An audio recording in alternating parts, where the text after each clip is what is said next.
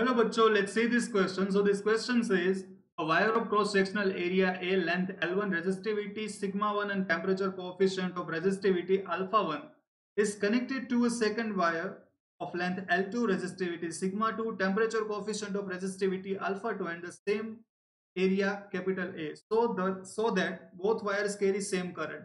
Total resistance R is independent of temperature for small temperature change if thermal expansion effect is negligible. चार option given है। तो बच्चों, यहाँ पे ये वाला जो क्वेश्चन है, ठीक है? थर्मल एक्सपेंशन का भी थोड़ा सा रोल है, लेकिन वो गिवन है कि वो निग्लिजिबल ठीक है? तो इसको हम देखते हैं कि कहना क्या चाहते हैं। हमारे पास बच्चों, एक वायर है। एक वायर ठीक है? Wire of cross sectional area इसका जो क्रॉस सेक्शनल एरिया है वो जो लेंथ है बच्चों, वो एल वन है, ठीक है?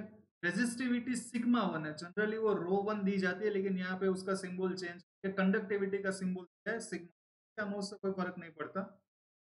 तो हम रो की जगह पे सिग्मा मान लेते हैं, इसका symbol temperature coefficient of resistivity alpha one ठीक है? टेम्परेचर कोफिशिएंट जो अल्फ़ा होता है, वो यहाँ पे अल्फ़ा वन है, पहला rod is connected to second wire of length ठीक है? इसको हम दूसरे वायर से कनेक्ट कर देते हैं। अब दूसरा वायर भी मान लेते हैं, कुछ है अलग। दूसरा wire.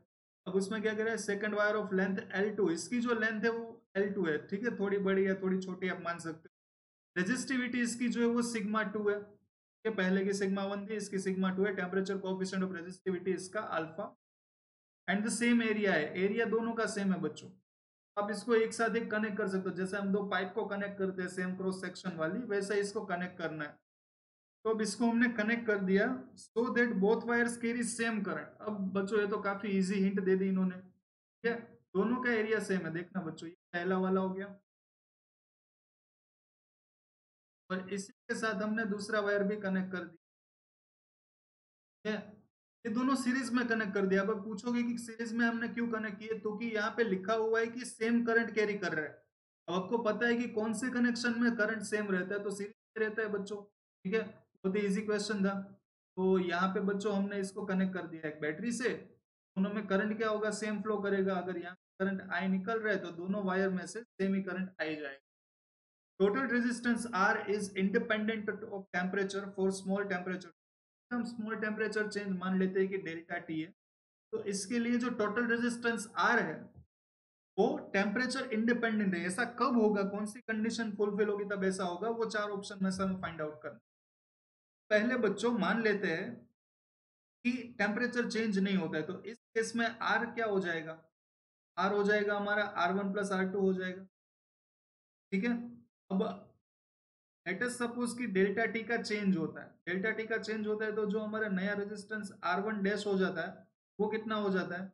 R one dash is equal to R one one plus alpha one two delta T ऐसा ही होता है।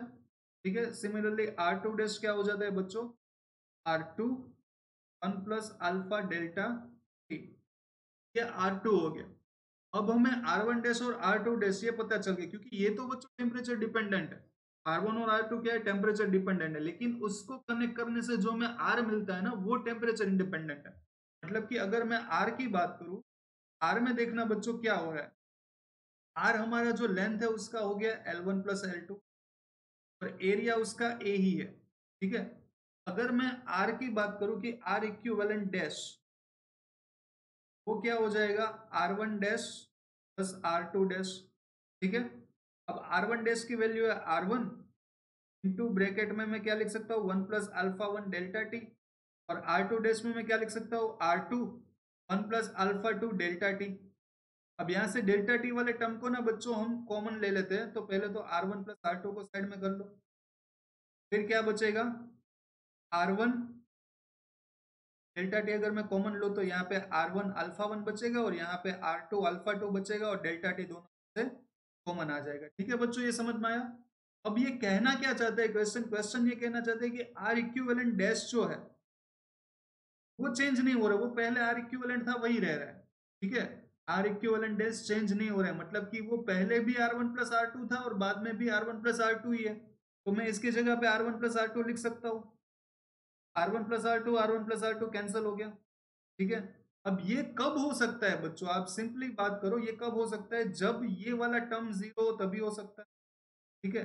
ये वाला टर्म ज़ीरो कब होगा? डेल्टा टी तो ज़ीरो नहीं है। हमने थोड़ा सा टेम्परेचर डिफरेंस लिया है तो डेल्टा टी ज़ीरो जबकि ये जो ब्रैकेट वाला टर्म है ना बच्चों ये ज़ीरो हो गया मतलब कि R one alpha one R two alpha two is equal अब आर वन क्या होता है बच्चों? रो एल बाई ए रो क्या है इसकी सिग्मा वन लेंथ है एल वन और एरिया है A alpha one sigma two L two divided by A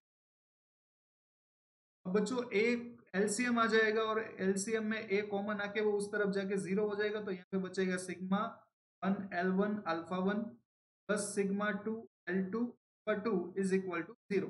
समझ में बच्चों, हमने ए को एलसीएम ले लिया तो ऊपर वाले टर्म का सीधा समेशन हो जाएगा और नीचे जो डिनोमिनेटर में ये बचेगा, वो सामने ज़ीरो से मल्टीप्लाई होकर ज़ीरो हो जाएगा। तो हमारे पास ये वाली कंडीशन आती है। अगर ये वाली कंडीशन फुलफिल होती है बच्चों तो हमारा जो आर इक्विवेलेंट आएगा, वो टेम्परेचर इंडिपेंडेंट होगा for small temperature change delta T ठीक है? तो ये वाला जो कंडीशन है, वो कौन से ऑप्शन में गिवन है तो क्या दिख रहा है ऑप्शन नंबर टू में। तो आई होप कि आपको ये क्वेश्चन समझ में आओगे थैंक यू सो मच